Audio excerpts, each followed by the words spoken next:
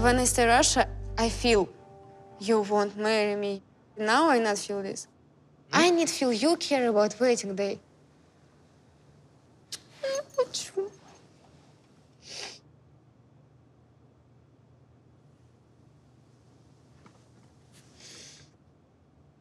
I mean, your mother and father now give big help. And your mother um, worry about waiting more you. It's like I feel like I I, I marry your mother, not you. She know who go waiting day. I don't know. She knows who. I know who. I don't know, Brandon. The ceremony's not my thing. This What is this is your thing. Okay, don't I go didn't- to don't I go church. I didn't design this this ceremony. I didn't design. I didn't say, you know what? Instead of people just signing documents, we should have a church. We should have music and a party. I never said that. This is just something people do. I'm You need to sorry if it's not my favorite thing, but it's just Okay, don't go, don't go church. Don't No, marry. because just you- sign. because you want this. I don't want now.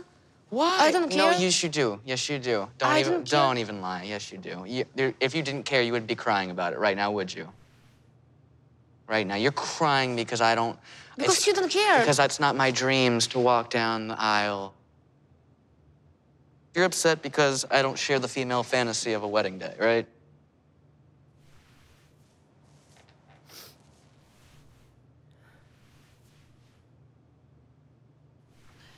You want me to be somebody I'm not. That's what you want.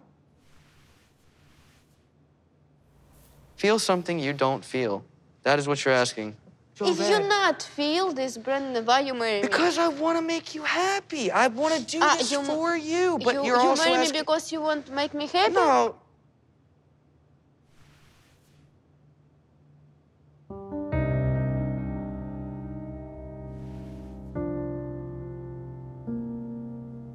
Here trying to make something happen for her. And while I'm willing to go the distance for her, to make things happen for her, I also can't fake who I am as a person. Even though I try, I can't make Julia happy, and we have 60 days to get married. Now, with coronavirus shutting everything down, there's not enough time to decide if it's worth dealing with that the rest of my life.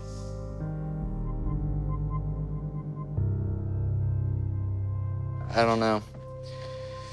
I don't know.